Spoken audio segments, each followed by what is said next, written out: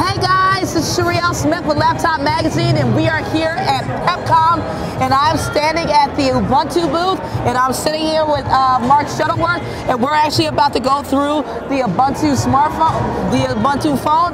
As you know, a, a week ago, Ubuntu, Canonical made the huge announcement that Ubuntu was finally coming to smartphones. So we're going to do a walkthrough and see what Ubuntu on, on uh, a Nexus, a, a Google Nexus phone is all about. So Mark, I'm going to turn it over to you. Walk us through. Right, so this is the entire Ubuntu operating system, just as you would run it on your laptop, only it's been distilled for the phone.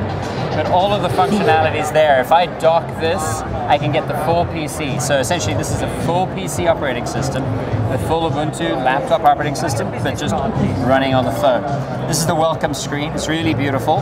This is an infographic that, that adapts itself to your day, basically, showing you number of tweets, number of messages. It'll just intelligently adapt itself. So if I hit this circle, what would happen? Oh, you can't interact with this. This, okay. is, this is just art. Okay. But this is like info porn. It's kind of like you reflected to you, you know? So it could be calls, it could be messages. It just intelligently decides what's going to give you a beautiful mirror back of yourself.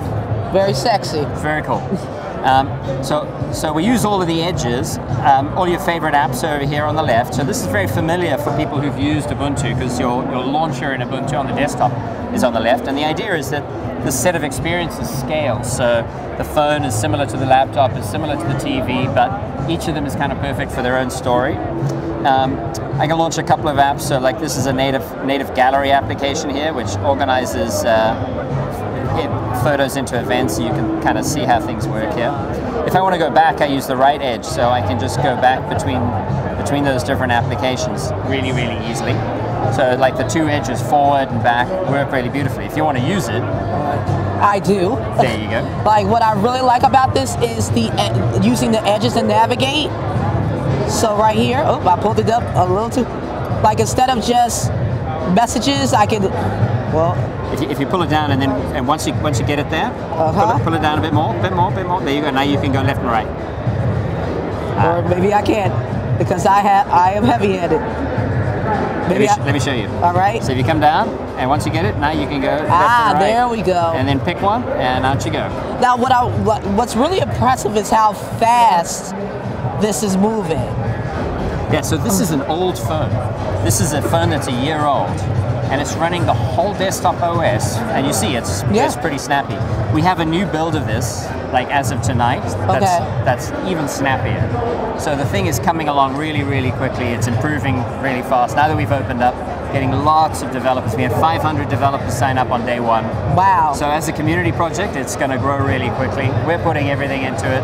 It's, it's, fantastic. The other thing that is very striking about this interface is that it's so visual. The pictures are big and uh, like colorful and up front. It's really a beautiful experience as well as a functional one. Yeah. So, so the reason there's so little clutter here is because the bottom edge over here will give you. Well, I need to. Uh, I need. To, I need to. Whoops. Let me just. The, the, bottom edge over here is where you get your controls. Mm. So instead of having buttons all over the screen, like crowding you out the whole time, by default there's nothing there. So you can you can you can you can bring up the buttons only when you want them, essentially, right? So it's by default a much cleaner, crisper interface. So with that said, when will I have so we can ship this this year, and we're in conversations now. We're not announcing any specific hardware partners and so on, but we're very confident that we could ship this by the end of the year. The exact timing and the markets are going to depend on which carriers and which handset manufacturers sign up. But we've made really good progress on, okay. on, on the hardware itself. And we can bring this up on any Android phone in a matter of weeks. Awesome. So you heard it here first. PepCom 2013, Ubuntu on smartphones sometime in 2013. Stay tuned.